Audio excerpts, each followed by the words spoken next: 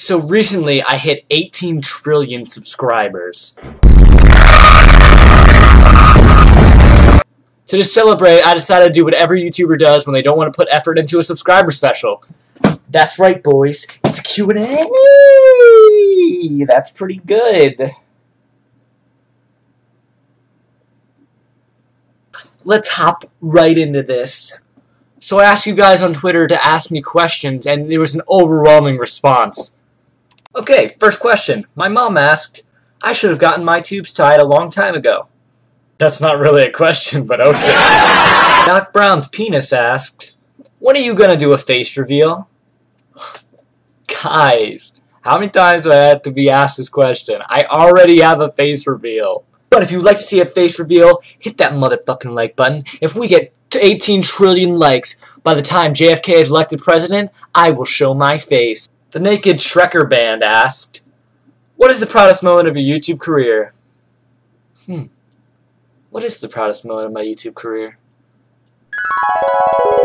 I lost all my stuff and this really sucks. So no diamonds anymore. Creeper blew me up according to the chat. He killed me. Wow. Where did time go?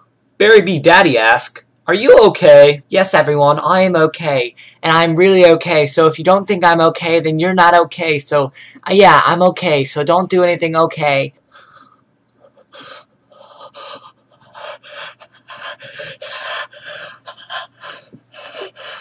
I'm okay, guys, so don't be casting if I'm okay, because I'm okay. So I hope you guys enjoyed, and I just want to take a moment to thank you guys for everything you've done for me. I don't know where I would be without you.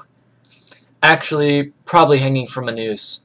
I can't tell you how much it means to me that you spent seven hours of your life watching my seven-part Onision rant series. And to show my love and support for you guys, I'm going to put four ads on my 10-minute shitty commentary video.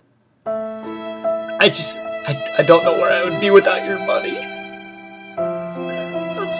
So yeah, guys, this is my Q&A. Hopefully you learned something about me. And if you did learn something about me, make sure you slap that fucking like So without further ado, I'll see you guys later.